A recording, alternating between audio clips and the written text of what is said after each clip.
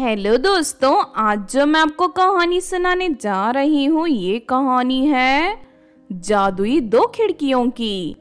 तो चलिए दोस्तों, देखते हैं जादुई दो खिड़कियों की कहानी। बहुत समय पहले की बात है, किसी गाँव में निशा नाम की एक लड़की रहती थी। निशा मटके बनाकर बेचती थी। एक दिन निशा अपने सर पर ढेर सारे मटके लेकर बाज़ार की ओर जा रही थी कि तभी रास्ते में। उसे एक बूढ़ी औरत मिलती है। सुनो बेटी, ये मटके कितने रुपए के हैं? मुझे तीन मटके चाहिए।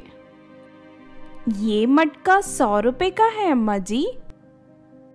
ठीक है बेटी, लेकिन क्या तुम ये तीनों मटके मेरे घर तक पहुँचा सकती हो? घर पहुँचने पर मैं तुम्हें पैसे दे दूँगी। हाँ हाँ क्यों नहीं? मैं अभी ये तीनों मटके आपके घर पहुँचा देती हूँ। वो भी निशुल्क। फिर वो बूढ़ी औरत निशा को लेकर अपने घर की ओर चल देती है।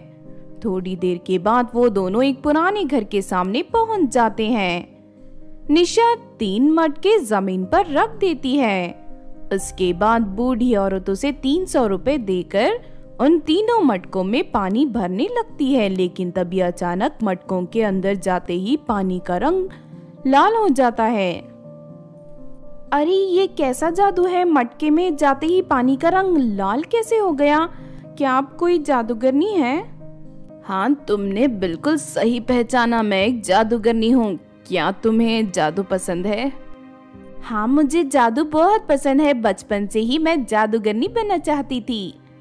अगर ऐसी बात है तो मैं तुम्हें जादू सिखा सकती हूँ। तुम कल से मेरे पास जादू सीखना शुरू कर दो।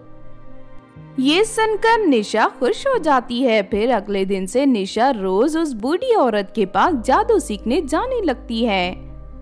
इस तरह कुछ महीनों बीत जाते हैं, लेकिन फिर एक दिन अचानक उस बूढ़ी औरत की तबीयत खराब हो जाती है। सुनो बेटी, लगता है मेरा अंतिम समय आ गया है।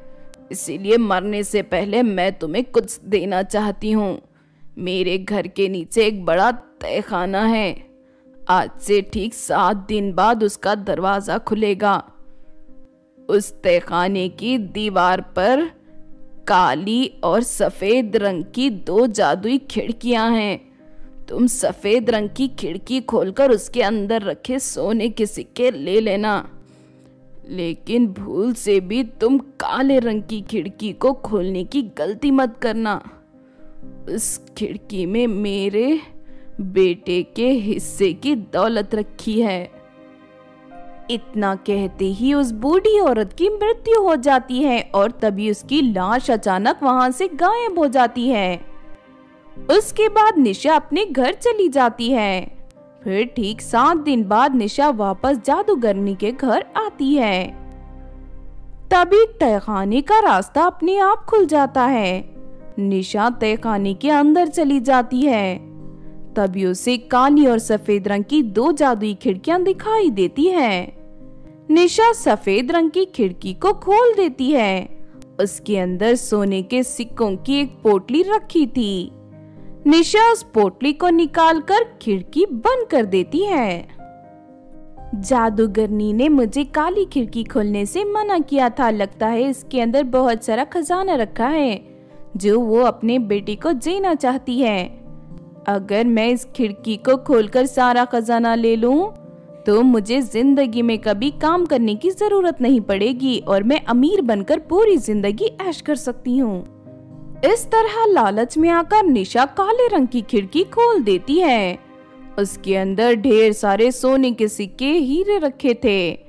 उन हीरों की चमक देख निशा खुश हो जाती है और हाथ बढ़ाकर वो सारे हीरे और सोने के सिक्के बाहर निकालने लगती है। इसके अंदर तो और भी ज़्यादा हीरे हैं, लेकिन मेरा हाथ वहाँ तक नहीं पहुँच रहा। मुझे इसके अंदर जाना होगा। इतना कहकर निशा खिड़की के अंदर चली जाती है, लेकिन तभी वहाँ एक बिजली चमकती है और खिड़की बंद हो जाती है। उसके बाद निशा वहाँ से गायब होकर एक वीरान रेगिस्तान में पहुँच जाती है। अरे नहीं, ये क्या हो गया? मैं इस उजाड़ रेगिस्तान में कैसे आ गई? तभी निशा के सामने उस बूढ़ी औरत की आत्मा आ जाती है। मैंने तुम्हें काली खिड़की को खोलने से मना किया था, लेकिन तुमने लालच में आकर मेरा कहा नहीं माना।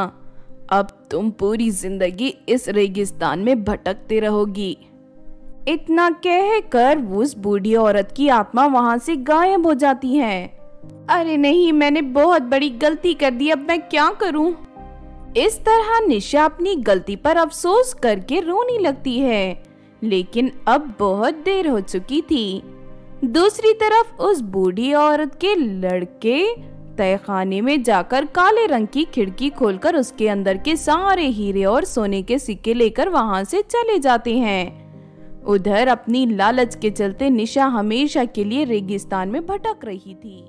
तो आपने देखा दोस्तों जादुई दो खिड़कियों की कहानी? इस कहानी से हमें ये सीख मिलती है कि हमें हमेशा अपने मन पर काबू करके रखना चाहिए और कभी लालच में आकर कोई गलत कदम नहीं उठाना चाहिए। अगर ये कहानी आपको अच्छी लगी हो तो ज़रूर लाइक करें और हमारे चैनल छोटू टीवी को सब्सक्राइब भी कर लें। और हाँ दोस्तों, हमें कमेंट करके ज़रूर बताना कि आपको कहानी कैसी लगी।